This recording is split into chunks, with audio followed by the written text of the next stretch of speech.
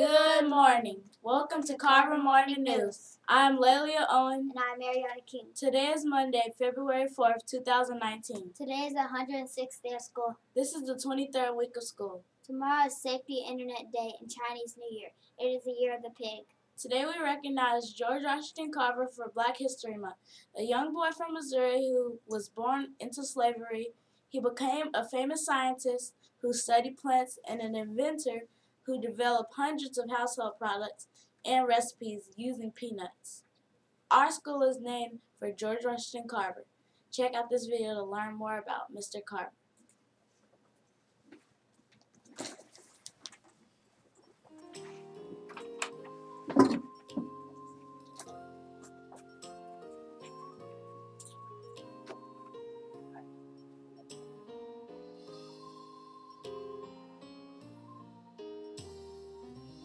George Washington Carver was a world famous chemist who made important agriculture discoveries and inventions.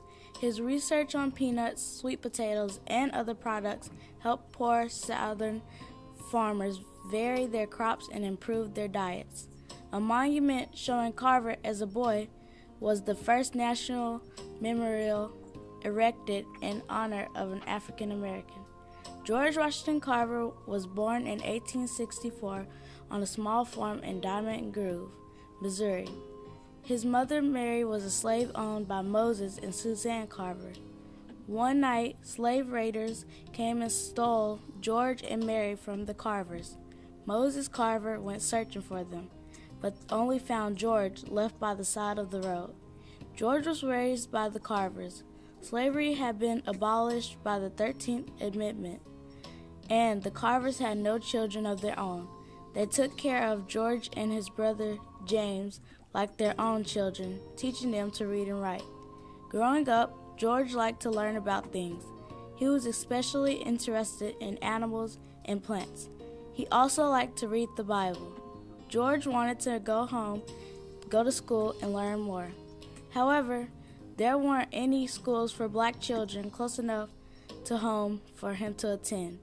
George ended up traveling around the Midwest in order to go to school. He eventually graduated from high school in Minneapolis, Kansas. George enjoyed science and art. He initially thought he may want to be an artist.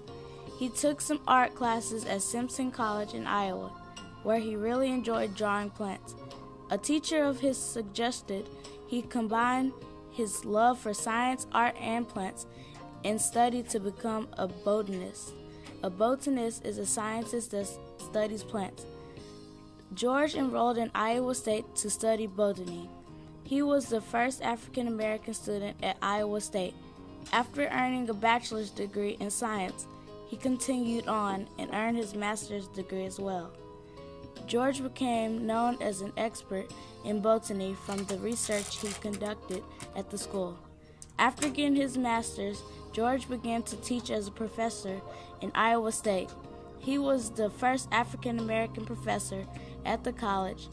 However, in 1896, George was contacted by Booker T. Washington. Booker had opened an all black college in Tuskegee, Alabama. He wanted George to come teach at his school. George agreed and moved to Tuskegee to help to head up to the agriculture department. He would teach there for the rest of his life. One of the main crops in the South was cotton. However, growing cotton year after year can remove nutrients from the soil. Eventually, the cotton crop will go, grow weak. Carver taught his students to use crop rotations. One year, they would grow cotton, followed by other crops eh, such as sweet potatoes and soybeans. By rotating the crops, the soil stayed enriched. Carver's research and education into crop rotation helped the farmers in the South be more successful. It also helped the diversity the products that they produced. Another problem for farmers was the boll weevil. The insect would eat cotton and destroy their crops. Carver discovered that boll weevils don't like peanuts. However, farmers weren't so sure that they could make a good living off peanuts. Carver began to come up with products that could be made from peanuts. He introduced hundreds of new peanut products, including cooking oil, dyes for clothing, plastic, fuel for, fuel for cars, and peanut butter. In addition to his work with peanuts, Carver invented products that could make be made from other important crops such as soybean and sweet potato. By making these crops more profitable, farmers could rotate their crops and make a production from their land. Carver became known for around the world as an expert on agriculture. He advised President Theodore Roosevelt and the U.S. Congress on matters of agriculture. He even worked with the Indian leader Mahatma Gandhi to help with growing crops in India. George Washington Carver was known throughout the South as the farmer's best friend. His work on crop rotation and innovative products helped many farmers to survive and make a good living. His interest was in science and helping others, not in getting rich.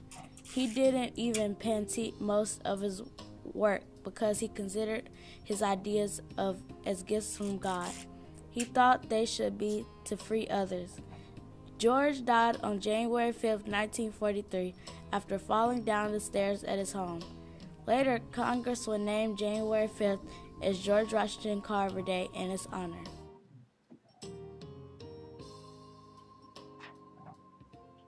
Now we are going to reveal the answers to yesterday's quiz.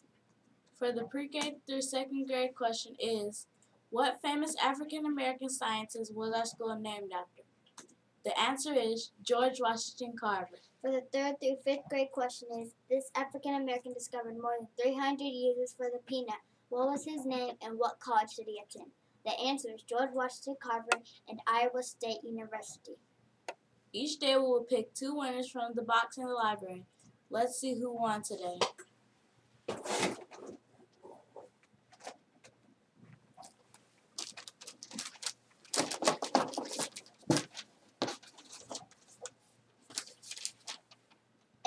Blackwell, teacher. Mr. Anderson. George Washington Carver, William, and Mary.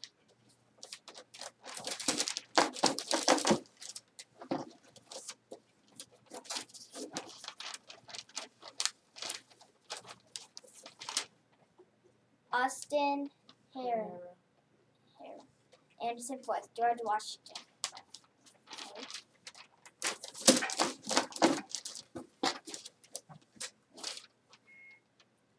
Camille Emmett. George Washington Carver, Simpson College.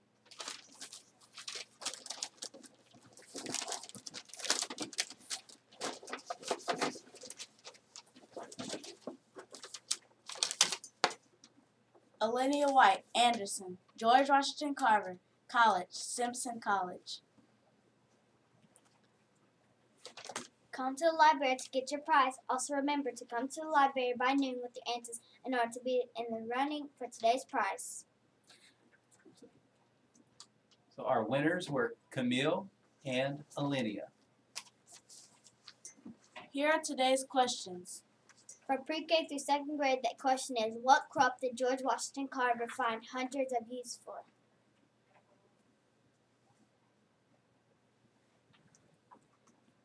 For the third through fifth grade question is, Dr. Maulana Karenga, a Black Studies professor, created this holiday to honor traditions and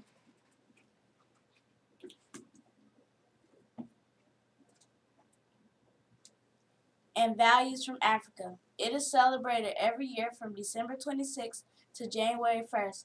What is the name of this holiday?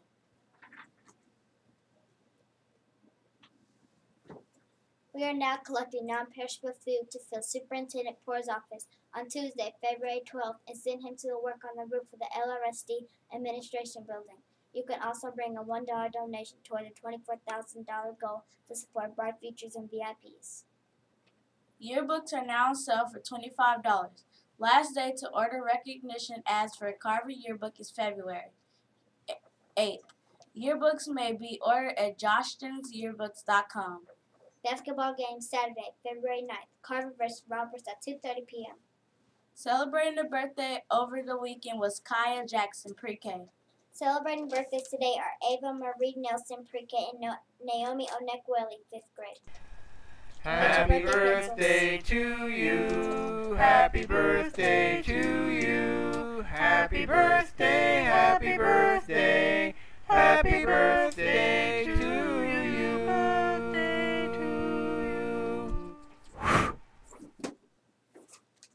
for today will be grilled chicken sandwich, onions and green peppers, green beans, orange and milk. Breakfast for tomorrow will be honey graham crackers, applesauce cup, assorted juice, and milk. Please pause for a moment of silence. Please stand for the Carver School Pledge and remain standing for the Pledge of Allegiance. Carver School Pledge.